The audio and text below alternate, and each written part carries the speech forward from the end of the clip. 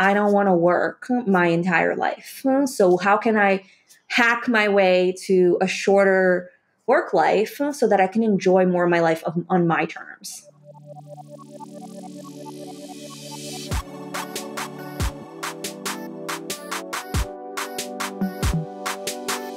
Hello, my loves. Welcome back to the Lavendaire Lifestyle Podcast. It's Eileen. Today's episode is all about personal finance and investing and overcoming anxiety with money. So, this was a very empowering episode. I'm excited for you to listen to it to help you get clear about your finances and create a plan for your financial future. Our guest today is Delyanne Barros. Delyanne Barros is an investing coach and the founder of Delyanne the Money Coach LLC. Growing up poor and as a Brazilian born immigrant, she believed that money was something extremely difficult to earn, manage, and grow. After paying off $150,000 in student loan debt and becoming a millionaire, she now shares her knowledge with over 500,000 followers across all her social media platforms. Her signature program, Slay the Stock Market, teaches new investors how to become financially independent and retire early and has over 5,700 students enrolled. She has been named one of the most influential voices of money by Time, and she was also the host of Diversifying, the first personal finance podcast produced by CNN. Before we begin, here's a quick reminder to check out the new 2023 Artist of Life workbook. If you're looking to change your life and have a guided plan to achieve all your goals in 2023, check out our new Artist of Life workbook at shop.lavendaire.com. All right, on to the interview. Hello, Delyanne. How are you? Welcome to the podcast. Thank you. I'm so excited to be here.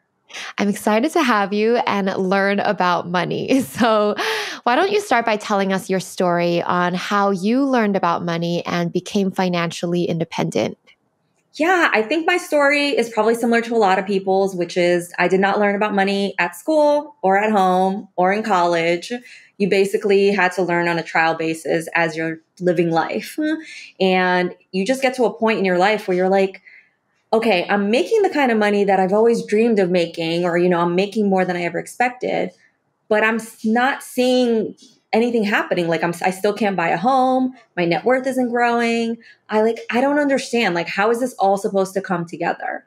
And that's how I felt. I was an attorney, successful working in New York City, and I had $150,000 in debt in school loans, which from my understanding was everybody had student debt. So it wasn't anything to be like stressed about, but I was trying to like buy real estate in New York City, which was extremely challenging even before, you know, the pandemic and all of this happening.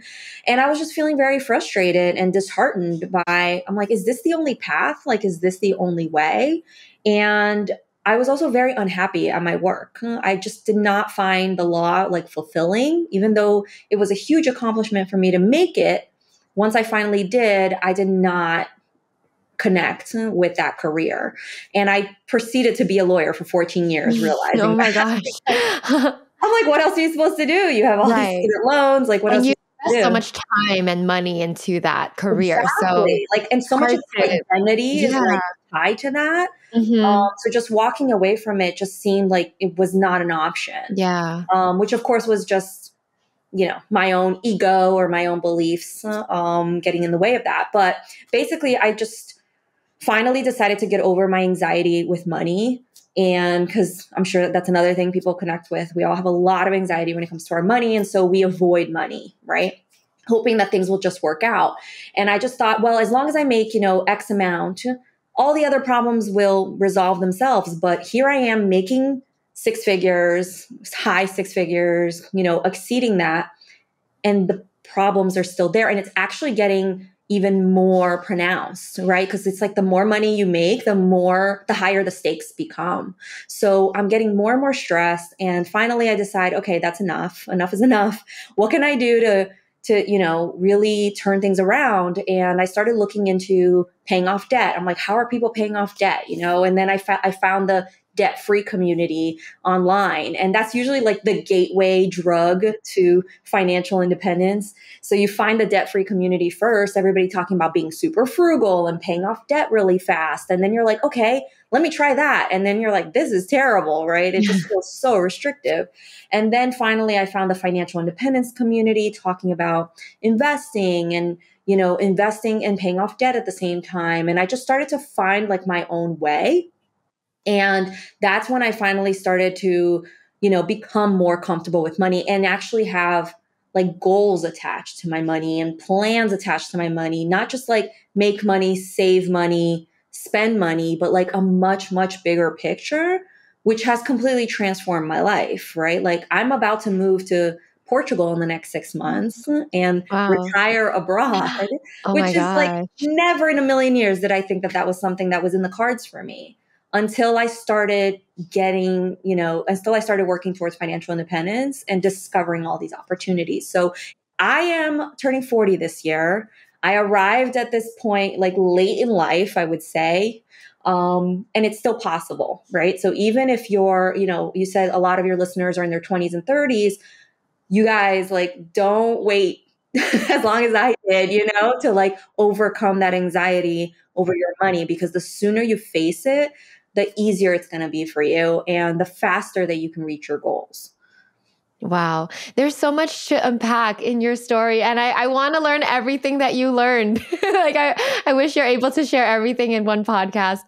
Um, let's let's start with um, financial independence. Like, what does that mean, and how? I guess what did you learn that changed your mindset or approach with money? Yeah, the biggest like aha moment for me was whoa, you can invest in the stock market and build this little nest egg that basically like replenishes itself. So you can pay yourself a salary, right? Instead of it coming from my employer, I can pay myself a salary and it will continue and the rest of it will continue to grow and and replenish.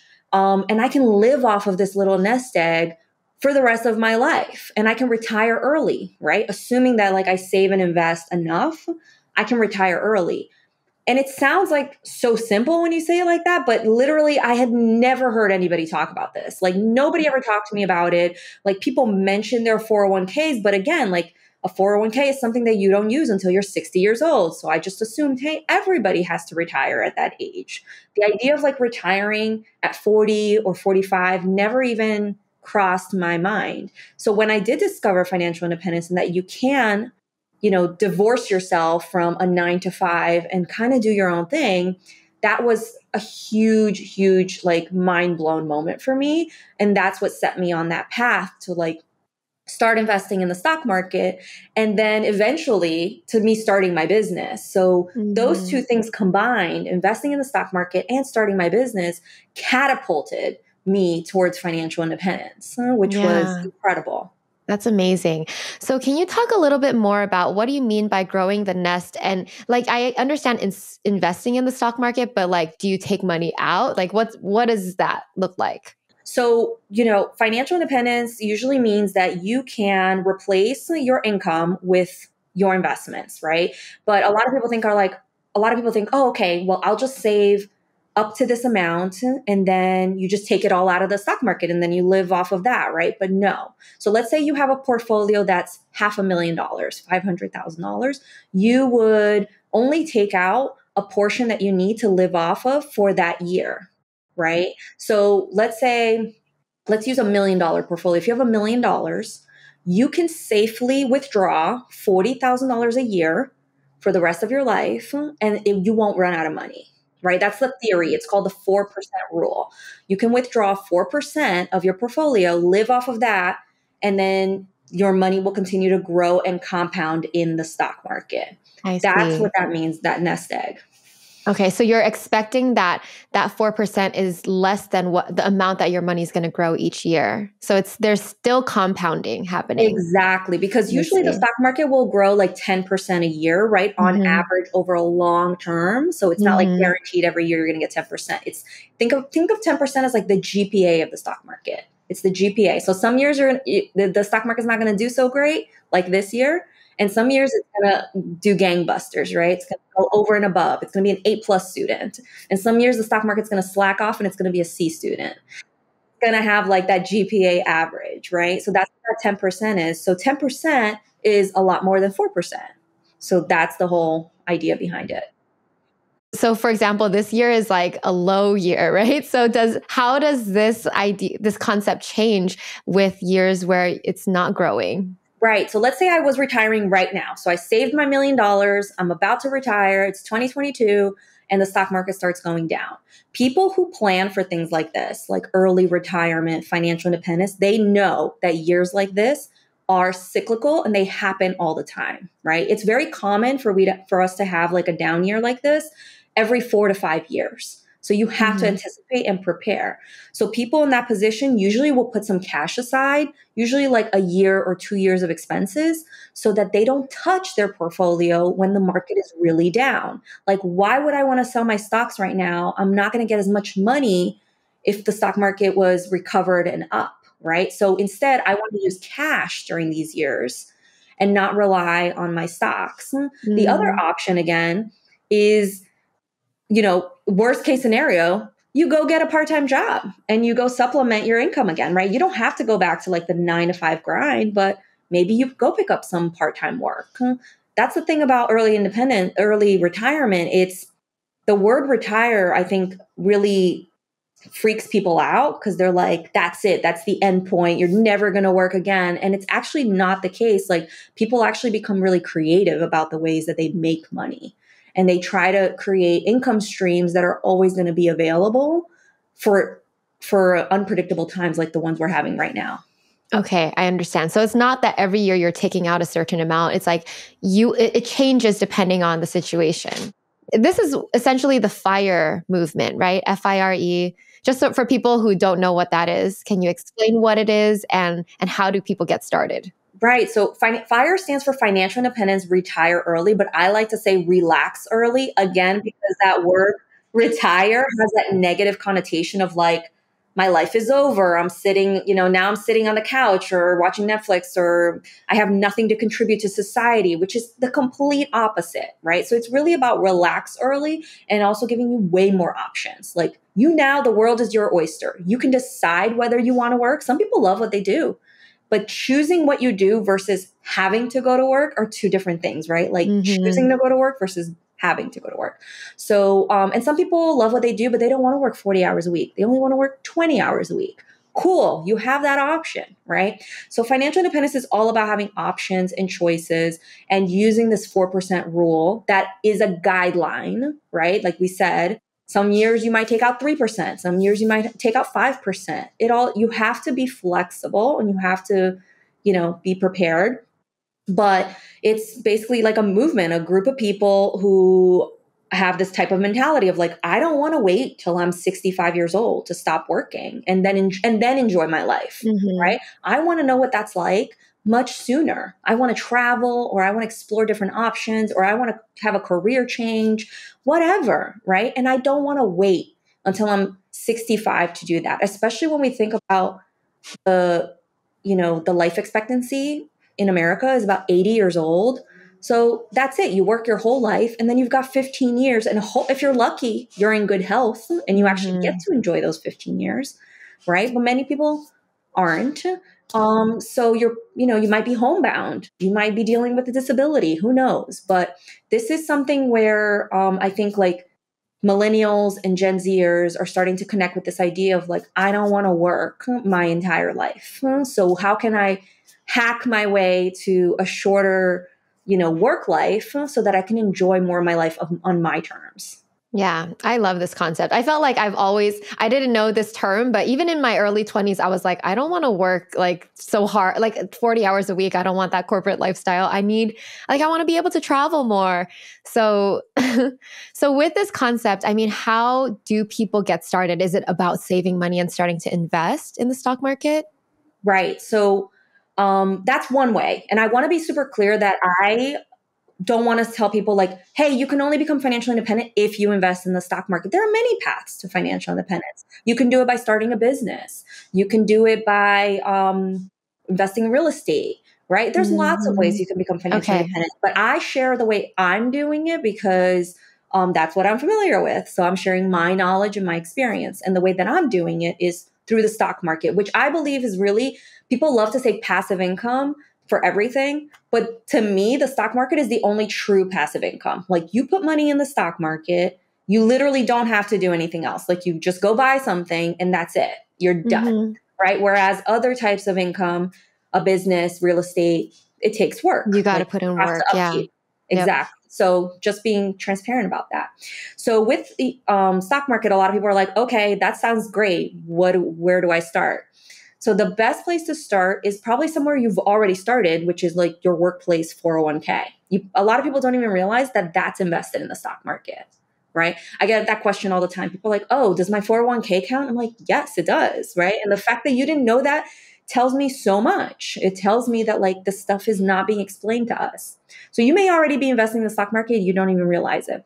The other, you know, um, ways by opening a Roth IRA. And people are like, what's that? It's just an account that holds your money and then you go and buy investments inside of that account, right? So you go to like an online broker like a Fidelity or a Vanguard, you open a Roth IRA, you deposit money from your checking account, and now it's time to actually buy the investment, right? Because the Roth IRA is not the investment. This account is just literally like a savings account that holds your money. So now it's time to buy the investment. So you're like, okay, well, what do I buy? Do I buy Tesla? Do I buy Amazon? Do I buy Apple? And I'm like, how about you buy everything? How about you buy all of it? And then you don't have to choose, right? Again, what are we doing? We're trying to get the average of what, everything the stock market's doing. We want to get that 10%. How do you get that 10%? By buying everything. You buy the good ones and the bad ones, but it averages out in the end to 10%. So you're going to get some duds and you're going to get some awesome companies, but it's all going to average out. And you do that by buying something called an index fund or an ETF. And that's going to have hundreds, if not thousands, of companies in there. And boom, just like that, you own the entire stock market and you just keep money, putting money in every month. Every time you get paid, you put some money in. You keep putting money in, and then you start growing your nest egg. Mm-hmm. And in terms of ETFs, like how how do you i know there's different types right? Do you just recommend buying the one that's like the entire s&p or are there do you recommend different types of etfs like how yeah what's what do you think? You know the traditional like if you're a long-term investor and you just like want to be a buy and hold traditional investor you're buying the entire stock market which means you're not just buying the s&p 500 you're actually because the s&p 500 is just 500 oh companies. the top 500 right. Exactly. Right. But if you buy the entire stock market, you actually end up owning 4,000 companies. Oh, right. So you're actually capturing more of the stock market. Um, and so, but they up, they have very similar returns. So I don't mm-hmm. want anybody to panic if they're like, "Oh my god, I've been buying the S and P 500 this whole time. Did I mess up?" No, you didn't mess up. They're very similar. Um, I just prefer the total stock market because it captures more, it gives you more opportunities there, diversifies you more, right? So I that's what I tell people to look at is a total stock market and then you got to think about how many how much in bonds do you want to add to your portfolio. Usually somebody in their 20s just starting out, they'll have something like 10 to 15% in bonds in their portfolio and the rest will all be stocks. That's a typical, you know, um, portfolio for somebody in their 20s and 30s, but it could vary from person to person. Right, right. And I understand investment is such a personalized thing. Like there's no right or wrong way. It's like something can work great for one person and something could be, you know, it's different per person. I want to learn about your investment journey as well. Like what would you say are the biggest lessons that you've learned in your journey that you wish you knew in the beginning? I think I um everybody underestimates, right? How much you're going to be susceptible to like FOMO like when 2020 and 2021, there was so much hype, so much hype around all these crazy stocks, right? People were talking about GameStop and there was NFTs and crypto and everybody's just pulling you in all these different directions and you're like, which one, which one? And it's I don't I think I underestimated how powerful that is, right? We're all on social media more than ever and you're hearing all of these mixed mixed messages. I mean, you've got like your aunt's uncle's cousin coming to you and talking to you about crypto and you're like well it sounds like everybody's doing this stuff so i should be doing it too. So it's really easy to be distracted by something like hot and exciting you know really really easy. And i kind of gave into that in the beginning too like i was buying individual stocks right? I thought i knew how to pick stocks. I thought that what i didn't realize is and I think a lot of people didn't realize is that in 2020 you could have picked almost anything. Yeah, everything went up. Money. yeah, exactly. Yeah, so, you thought you were smart, but like literally everything did well. Literally, everybody thought they yeah. were Warren Buffett. They're like Warren yeah. Buffett. Ha, what does that guy know? I'm a yeah. Yeah, so yeah. People were feeling very, very confident. And then you have a year like the one we're having, and you start to see, oh, crypto is down like 70%, right? You've got mm-hmm. individual stocks. You've got Meta, Facebook, one of the biggest companies in the world. Its stock is down 70%. So all of a sudden, all these theories and ideas that you had about investing, you start to realize, oh my God, I, I know a lot less than I thought I did. And that's where people get disheartened and then they feel burned out from the stock market. And they're like, oh, I guess this is a scam. I guess this is like a casino and this doesn't work. And then they give up right? So that's what I don't want to see people doing. Um, and by the only way you avoid that is by not giving into FOMO. So I know index funds like don't sound sexy. Like nobody's excited when they talk about index funds. Like you don't you see people's eyes like glaze over and they're like, that sounds boring. You you just buy the same thing every single month and that's it. And I'm like, yeah, that's it. And but that's what works. Yeah, it's the long term, like it's it's like tried and true almost. Yeah. So what I tell people is like, listen, if you want to get excitement, do that somewhere else. Like go on a roller coaster, go to Vegas and gamble, like go go on a crazy vacation, you know, go bungee jumping, but don't do it in your investment portfolio. Like that's not where you should be getting like your endorphin kick. You know, it's not in your investment portfolio. Go get it somewhere else. Yeah, yeah. That's great. Okay, so your your course is called How to like slay the stock market. So I want you to share some tips, like your best tips for beginners and then also later for long-time investors. Yeah, I think with beginners it's again, it's starting with the foundation, you know, like what am I doing here? Why am I putting this money in the stock market in the first place? That's the first question you have to answer because if you are immediately going into it thinking, ooh, I'm going to invest so I can pay off this credit card. You're already in trouble. You're already, eh, like, stop right there. Like, you're already in trouble because that's not how investing works. Like, you need to commit to leaving this money in for like 10, 20 years, right? So, immediately your mindset needs to be like, hey, not going to see this money for 10 years buy money you know like i'll see you in 10 years so mm. immediately like that's the first thing you need to focus on is your mindset and you need to like have a goal to work towards. Otherwise, you're kind of throwing money in these accounts with like, you know, without really understanding like, am I investing enough? Am I investing too much? Am I investing too little? Like people have no idea, right? So what's the goal here? Like when do I stop investing? When do I know it's enough? That's all about like figuring out that fire number. What is your fire number? If you don't know your fire number, then what are you doing? Right. So I always tell people it's your annual expenses times 25. So just know okay. that, that formula, annual expenses times 25. Again, annual expenses based on who you are today as a 20 year old, cool, but that's not going to be change in 20 yeah. to 30 years, right? So that number is going to be changing. Like you're oh, gonna have I to see. recalculate it every couple of years and be like, you know what? I, I, actually think I'm gonna need more. You end up having a kid. Oh, I have a kid now. Let's mm-hmm. raise that number again. You know, so you have to be flexible. Um, so I think that that's the first thing is, you know, just have your why and make sure that your mindset is right. And then for longer term investors, it's the the hardest thing for a long term investor to do is nothing. nothing because they think they need to be doing something right? Like right now, everybody's panicking, thinking like, what should I be doing? What should I be doing? My portfolio is down 20%. I keep telling them the only thing you should be doing is exactly what you have been doing for the last however many years. You need to keep buying. Keep mm. buying. People are like, oh, should I lower my contribution? Should I slow down? Should I wait for the market to bottom and then I'll put more money in? Nope. Because you don't know when these things are going to happen. So, what you should be doing is just continuing to stick to your plan the minute that you think that you can do something to get ahead of a stock market loss, you're already doing too much.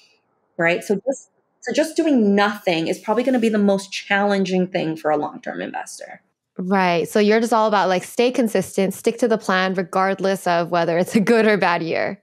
Cause it's it's simple, really. I, I think people want to like strategize and do all these other things look at TikTok, look at YouTube. There are literally channels and channels and channels like dedicated to giving people like stock tips and like what's going to happen next, right? And people love that stuff. But they don't realize that all of that is speculation. Like that person is literally running a hypothetical.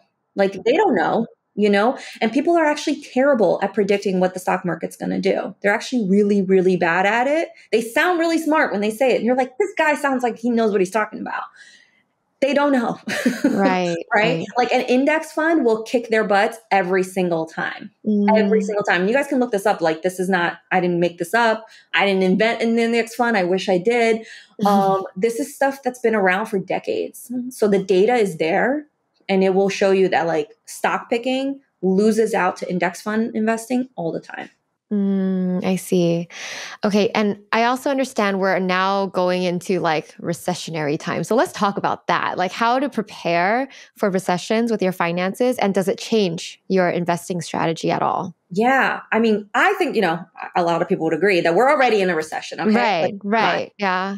We're not seeing growth, right, in our yeah. economy. And that basically, if you see that for two quarters in a row, boom, that means recession. So we're in a recession, but I do think that there, there's a, high chance that it's going to get worse, right? That we're going to see more layoffs. We're already starting to see layoffs kind of speed up. And um, inflation is still not in control. Like the fed has not been able to control inflation. It's still out of control. Gas is still high. Food is still high. So i think it is going to be more painful before it finally corrects itself. So you need to be preparing right now right? Don't assume that just because you've been at a job for five years or 10 years that you're safe. You're like, oh, no, I would never get laid off. They love me. I'm irreplaceable. Oh, that's the biggest mistake you can make. Don't ever think like that. Everybody's replaceable from the CEO all the way down. So you really want to be preparing right now. You should be stocking, you know, you should be putting away some cash. So minimum, minimum three months of expenses. I would raise that to six months um, or higher depending on what industry you work at. So if you work in an industry that's very volatile or it would be very difficult to find another job, you want that you want that solution fund is what I call it instead of emergency mm. fund. I like to call it a solution fund. You want it to be even bulkier, right? Depending on your industry. So that's like the priority. The other one is if you have a little extra to throw on debt, this would be a good time to be throwing extra money on debt, especially credit card debt because as interest rates go up, because the Fed's been raising interest rates, that means credit card interest rates are going up.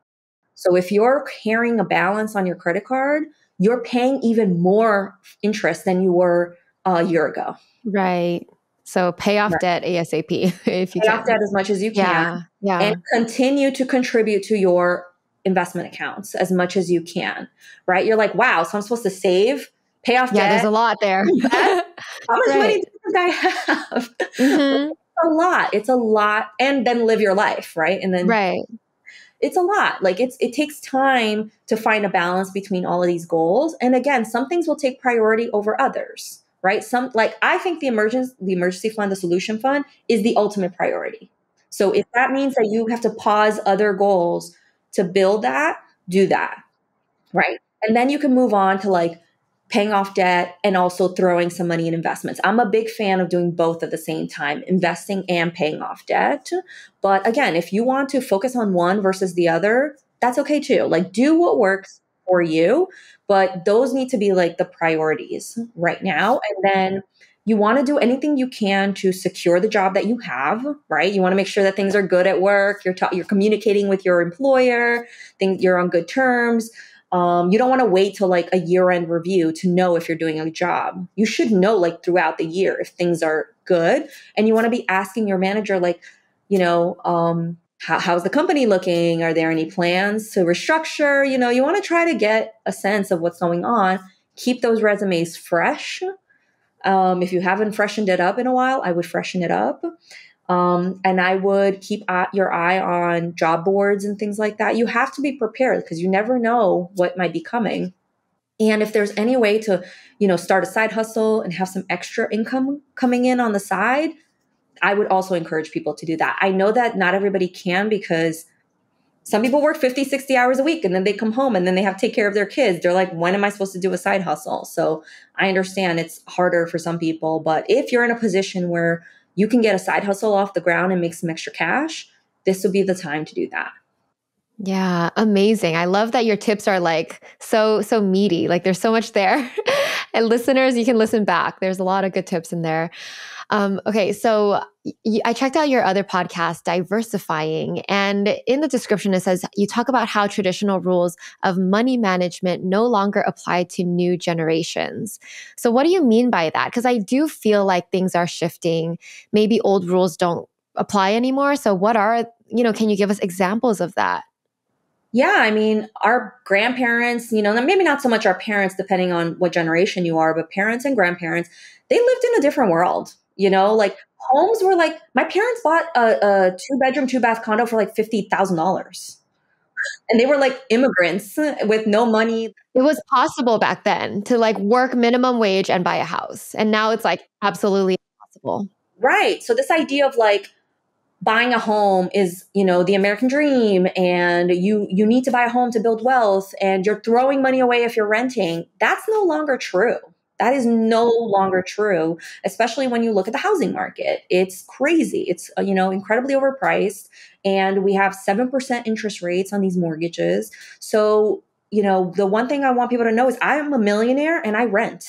Mm, and I live in mm, California. Okay. So you don't have to believe in that like myth or that rule no, that you have. Absolutely okay. not. Like depend it's very geographic specific, very, very specific to where you live. Depending on where you live, it may not make sense to buy right? Mm-hmm.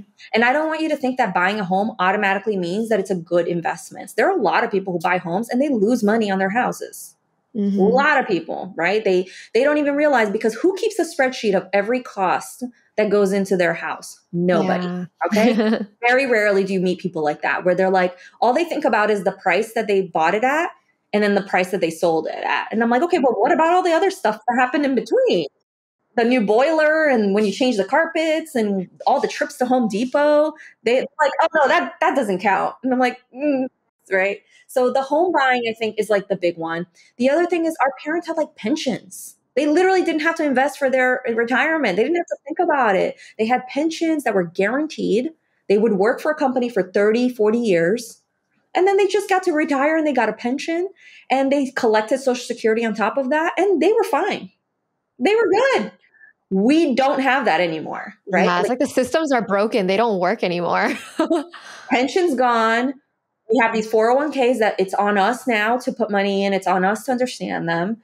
Social Security is diminishing by the minute. I don't even know if it's going to be around by the time we retire.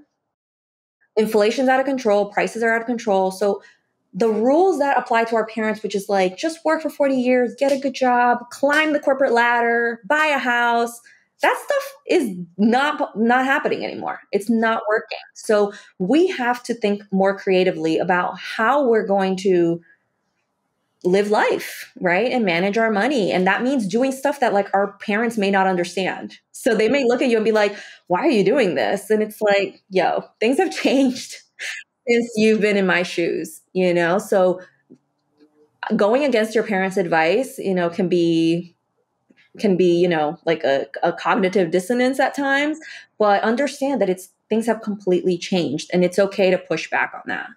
Yeah, yeah. I love that. It's like for people who just listen to their parents and think they just can stick to the rules and live a good life. Like the world is not the same anymore. So I yeah, I feel like that was very eye-opening. Yeah, and like like the other thing where just stick to one company and, and be loyal no, like you actually need to be changing jobs like every two to three years mm. and getting raises and job right. hopping is like one of the best ways to increase your income.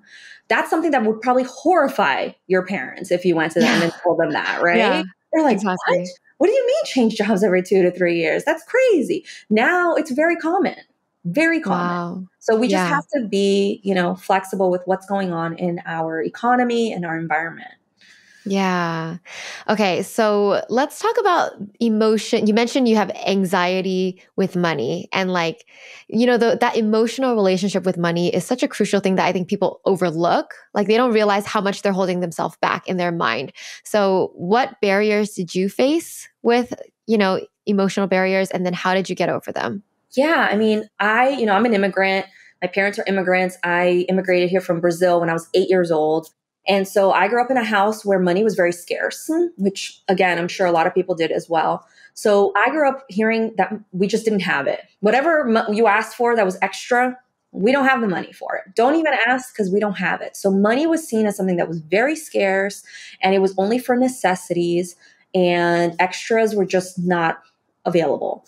And so I brought that anxiety around money that scarcity into adulthood right? So i would i would vacillate like between spending a crazy amount of money. As soon as i would get the money i would spend it because i'm like oh i don't know if i'm going to lose it and it's going to be gone so let me just go spend it. And also just having money for the first time in my life. I was like oh my god i have money for the first time and you just want to spend it and then I went the other opposite direction, which was like I was hoarding money. I would just save, save, save, save, save. And then the more you save and the more you see it increasing in your bank account, the more anxiety you get because you're like, oh my God, what if I lose all of this? And it's mm-hmm. like, and then when the time came, and so I, I hoarded a lot of money into a savings account for a long time. When the time came for me to pay off my student loans, which meant like throwing big, I was throwing like thousands and thousands of dollars into my student loans on my student loans every month to pay it down. For me to get to that point, I had to believe that I was going to make more money again, right? Because paying down debt means co- overcoming your scarcity mentality. Because if you believe that you will never make that money again, you're never going to let it go and let it go towards things like paying off debt or investing because you want to hang on to it, mm-hmm. right? And so nobody ever told me that, wow, paying off debt means that I have to overcome my scarcity mentality. I have to believe in myself enough that I'm going to make more money, that I'm going yeah. to make that money back and then some. Mm-hmm. Right. And mm-hmm. once I was able to, to overcome that, I was able to pay off my student loans. I was able to start putting money into the stock market because when you have fear in your money and you like you strangle your money, it will never grow. Like when you strangle something, it can't thrive right? Because you're strangling it. So you actually have to let it go in order for it to like grow and thrive and like actually make you more money. So overcoming whatever limiting beliefs you have around money is extremely important so that you can make decisions that will actually help you instead of holding you back. Yeah. It's like you have to believe it it will come back. Like you're going to be able to make it back. It's money just flows. Like don't don't hold on to it so tight. I love that like metaphor of strangling. It can't grow it, you if you're strangling it. Yeah. What are there any other common emotional barriers that you see with people? I mean, there's so many. There's so much money trauma that I think people have not pinpointed. I did one, uh, one of the episodes that I did on diversifying was about money trauma, where you know um, one of the listeners that we were interviewing grew up like in an abusive home and she saw how her parents abused her the kids by spending money on themselves and telling the kids that they didn't have any money right like they wouldn't even have oh. money for food and then the parents would go and spend money on themselves like they would just blow mm. through the money so that so she was so afraid to spend money that she wouldn't even like buy herself new clothes. She would be afraid to buy new clothes because she would see a jacket and she would see the price tag and she's like I can buy um, three loaves of bread with this and two packets of cheese. And she could, she would see food, right? She would look at a jacket and she would see, wow, I can buy so much, this much food. And so until she made that connection that that's what she was doing in her mind, she wasn't able to like really enjoy her money. And she was, she was doing very well. She had a great job mm. where she was a mm. creative director and she was making good money, but she couldn't get herself to the point where she could spend it and enjoy it. So I think we talk a lot about saving and paying off debt, but we don't talk about how to like spend money. You know, how do we spend money in a way that's joyous, in a way that right. it doesn't cause stress, in a way that it doesn't trigger, you know, some fear in us? Like that's a skill too, right? And so therapy is obviously amazing. I think therapy is something that will help you if you have this kind of money anxiety I highly, highly recommend therapy because it will help you work through a lot of this. And a lot of therapists are starting to talk about financial trauma and, you know, how that's impacting your money. I, they're seeing a lot more of that. So um, I would definitely, definitely seek out help. Yeah, yeah. It's such a big part. I, I, think everybody has some sort of belief about money. And it's, it's, I think everybody has to overcome some sort of whether it's uh, habits you picked up from your parents or beliefs you picked up from parents or someone someone else. Yeah. Yeah, some people like have the opposite experience where their parents always paid for everything and they always had a lot of money in the home. And now that they're out on their own, they're like, oh, I don't have like this bottomless piggy bank to like dip into. And they're just blowing through each paycheck, right? Because now they're believing that the money will always, always be there. And that's the other extreme. Like, oh, money will always be there. So I'm just going to keep spending it. And I'm like, okay, well, you don't want to like go too much to that side either. You want to have a balance between the two. You don't want to be hoarding and you don't want to be spending everything. Everything's about balance. Yeah. Okay. I also love that you talk about more diversity in finance and how, you know, some marginalized groups maybe are taught to fear investing or they don't, it's just out of their world, right? So, what are some, I guess, financial myths that you feel are keeping some groups out of financial freedom? And how do we solve this? I think um, you know, the idea that the stock market is like a big casino and that it's something that the rich people do, that they just throw their money around, you know, that they don't respect money and that they just throw money into the casino and sometimes they make money and sometimes they lose it all.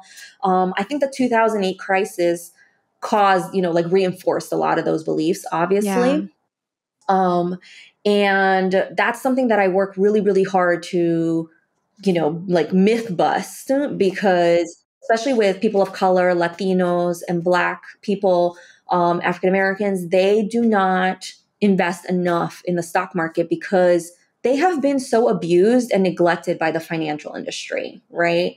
Um, they have been taken advantage of. There have been so many banks that have come into communities and taken advantage of people who didn't have the financial literacy to like ask questions and understand. And again, back to the 2008 crisis, so they are distrusting of the financial institutions with reason, yeah. right? So for me to come in and show, hey, I'm a woman of color, I am putting my money in the stock market. Look at me, I'm doing it, and I put my money where my mouth is. I'm trying to show them that this is something that is available to us and it's, you know, it's not as scary or it's not like for them and not for you. It's for all yeah. of us. It's yeah. very, you know, it's it's where your money is actually the most equal in anywhere in the world, right? Like my share of Apple, whatever, let's say I buy one stock of Apple, it's worth just as much as anybody else. Like a billionaire can go into the stock market and buy one share of Apple, and I can go buy a share of Apple, and our shares are going to be equal.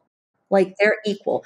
Whereas, like, if you buy a home, homes are not always equal, right? Like there's so much race discrimination when it comes to um, home ownership. Like that's very well documented, where a family of color will try to sell a home, and then a family, a white family, will try to sell a home, and they get two different prices. Right. So right. very, yeah. very, you know, unfortunately, discrimination is something that is pervasive in the system. So I'm just trying to show people like, yes, you have reason to distrust the financial institutions, but we can still work within this not perfect system, right? We just have to educate ourselves.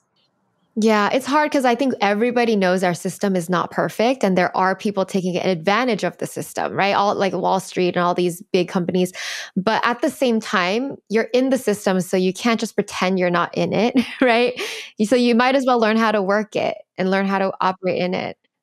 I'm not here trying to defend capitalism. I know that capitalism has its problems, right? I'm not trying to say that it's a perfect system at all but it's the system that we're in and we're all compromised. We're all in this system. We have to do the best thing that we can within the system. And we can still like criticize and hold corporations of, um, accountable and want to push for like more laws and regulation. We can do all that while still trying to thrive within capitalism. Like those things are not mutually exclusive, you know? Like there is no dignity in staying poor there's no dignity in like keeping yourself poor like intentionally like i'm not going to make money because money is evil. There's yeah. no dignity in that you know? That's a really hard life to live. Um and i understand there's a lot of greed. I'm not saying you need to like be greedy but again balance right? There's a big mm-hmm. difference between being greedy and then living in poverty. Like there yeah. there. Basically, there are a lot of resources and platforms out there like the stock market that people can be a part of and it's just a matter of like educating yourself and, and getting involved. And i think a, a big part is just the awareness and education for for some groups because some groups are like oh i don't even want to learn about it because it's for rich people. When when in reality like you said like it's for everyone. I think that's what's really important is just like just educating people what they can how they can get involved now like with what's out there. And i want to acknowledge that investing is very much a privilege right it is a privilege like most people are living paycheck to paycheck they can barely pay their bills so i want to acknowledge that that that that situation is very true and it's not fair to go to somebody who's living paycheck to paycheck, barely getting by, working 50, 60 more hours a week. Because let me tell you, the people who earn minimum wage, they work harder than anybody. So it's not about working hard. Um, and they they can invest, right? If you came to me when I was 21 years old and I was making $28,000 a year and you told me about a Roth IRA in the stock market, I'd be like, that's really nice, but I'm barely getting by, you know? And that's the situation that people are in. But there are other people who have been able to kind of escape that paycheck to paycheck cycle and they do have some extra cash and they just either don't know what to do with it or they're fearful or you know they're just overwhelmed and i want you know if you were able to ex- escape the paycheck to paycheck cycle that's a huge huge accomplishment and yeah. i want you to like go to the next level now which is building wealth right you're entitled to that you have a right to do that, to pursue that. And it's a privilege to be able to do that. And I don't want you to waste that opportunity because there are so many people behind you, below you, who wish they had that opportunity. Like I wish I had 50 bucks or 100 bucks to invest in the stock market. They literally don't. Yeah. Um, I mean, what what else do you have to say on how we can kind of make this system work for us and feel empowered despite all of these barriers, despite the fact that it's imperfect? Yeah, I think the best thing you can do is just knowing your own ecosystem, right? Like don't get overwhelmed with everything that's going on in the world. I think that's the that's the way to like really become like to have analysis paralysis. You're like, "Oh my god, there's so much going on in the world. I can't process it, so I'm not going to think about it." Bring it back down to like you. Like let's start with you. Do you know your ecosystem? Most people don't even know how much money they spend every month. Like they don't even know. Like they know how much money they make and but they don't really know what's going out the door so where's your money going? Like what's your biggest expense category? You know, is there somewhere that like where you've been emotionally spending that maybe you can cut back on, right? Because a lot of us we spend to appease like stress, boredom, whatever. We want a serotonin high. It feels good to hit buy, right, on mm-hmm. your phone and then get a, a package in at the at the door like it's Christmas. You're like, that feels good. So, is there something else that you can replace that habit with? Instead of mindlessly shopping, can you do something else? And so, just get to know yourself, get to mm-hmm. know your ecosystem, and start there, right? Then you can start branching out beyond that. Maybe that means helping out a partner um, or a spouse or a family member or a friend, you know. But right now, let's just focus on you and under. It's like putting on your mask on first before you put on somebody else's mask. That's what we're doing. Yeah, it's great because I think people forget that they like you can get super clear about how you're spending your money, where your money is, where it's going. Most people don't even do that or know how to do that. No, literally, I was listening to another podcast where somebody was, they were married for 18 years and the husband p- made the money and the wife spent it. And he had no idea where the money went and she had no idea where the money came from. It was the most it was the most bizarre thing. I was like wow it's like they they've been together for 18 years and it's like two separate entities operating like the right hand and the left hand is doing. So just communicating like those two sides is already like a huge accomplishment. Right right um, do you have any like favorite financial tools apps websites things like that that you want to share yeah, I mean, there's so many. I think that there's, first of all, there, I love podcasts. So obviously, podcasts I think are fantastic. So if you, if you want that, tons of podcasts out there. I have a whole free guide with um, a ton of resources listed in it. So if you guys just go to my Instagram, the link in my bio, there's um, a getslayguide.com. You can get my free guide, tons of resources, books, right? And YouTube channels, all that stuff. But I love like reading books like the Boglehead's Guide to Investing or I Will Teach You to Be Rich. And there's so many more new ones that are coming out too, which are written by women, which I'm so excited about. Like the financial industry is really changing and growing, which um, excites me. And I think like start with your education, just start getting used to the vocabulary of this world because people think it's math and that's another thing that intimidated me i was like oh my god i hate math i went to law school to avoid math but it's not math actually it's like 80% vocabulary so once mm. you start getting mm. used to some of this wording like we threw out a lot of vocab here today you, yeah. words that you probably never heard before you read one personal finance book you will know these words like and then all of a sudden this world is not going to seem so terrifying and overwhelming yeah. it's, like, it's like going to a new country and not knowing the language it's true and, and, people say like the these industries, like the finance industry, they purposely create these like complex words because they know people are going to be intimidated and not even try to learn it. Right? It's it's kind of like a tactic. Oh, I'm going to make it sound complicated, so you have to pay me to teach you how it works or to, to do it for you. When it's you know most of it can be learned. So I mean, I just want to empower anyone listening. Like, don't, I think that's the first barrier is like you think it's scary, you think it's hard like try to like throw that thought away. like it doesn't have to be scary or hard. Anyone can do this. The things that you do at work every day are harder than this.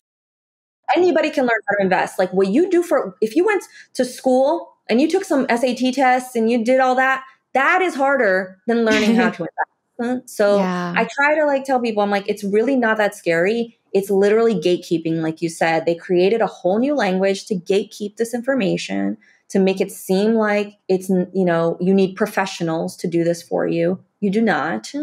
Um, so it's just a matter of like just getting past that vocab, you know, road bump, and then you'll be able to figure this out. Love it. Love it. Okay. Um, what would you say, like, if you were to leave the listeners with one final piece of advice, what would that be? I would say like allow yourself to dream a little bigger. You know, sometimes in life we tend to just focus on like day to day survival, which I understand, especially if you're like struggling. But if you allow yourself to dream a little bigger, you might find yourself like stretching your goals a little bit more. You might find yourself taking some more chances. I wish I had taken more chances when I was younger. I was deathly afraid of changing jobs, even though I was miserable at work.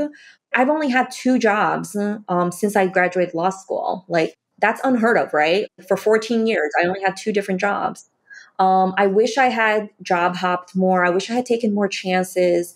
I wish I had taken more risk. I feel like your 20s is your time to like take risks. You know, your 20s and 30s are your time.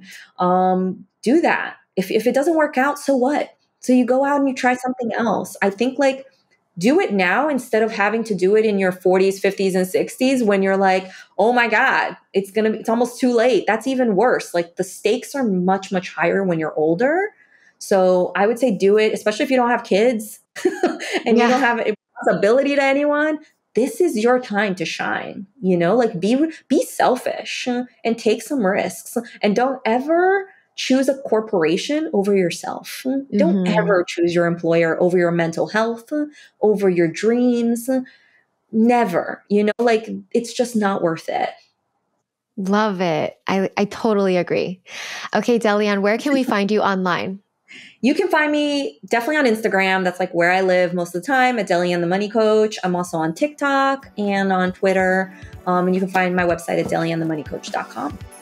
Amazing. Thank you so much. Thanks for dropping all this knowledge and this empowerment. I love what you do, supporting you. And, and yeah, thank you for being here today. Thank you. This was so fun.